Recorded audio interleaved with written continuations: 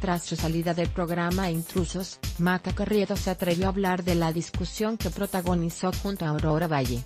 La conductora, de 31 años, comentó ante el medio Notas lo desagradable que fue para ella el suceso. Todo comenzó cuando Aurora Valle comentó que era desagradable que Maca flirteara con un actor invitado pues parecían dos güeyes coqueteándose. Días después la conductora dejó los foros de intrusos. Hablo en general que no podemos normalizar comentarios ni decir es que eres muy bromista aguanta.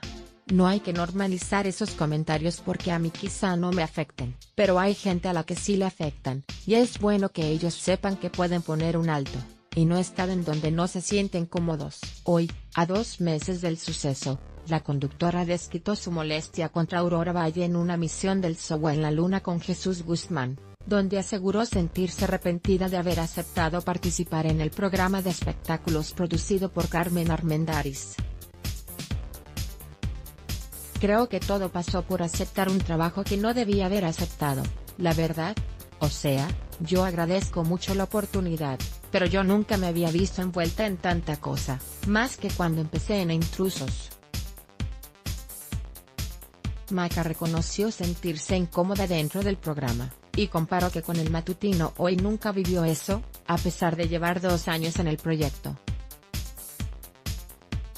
La conductora señaló que lo más molesto fue que se vinculara su nombre junto a diversos chismes de la farándula, sin embargo, cuando Jesús Guzmán mencionó el nombre de Aurora Valle en la conversación, Maca se tornó irónica y comenzó a hacer preguntas en tono de burla.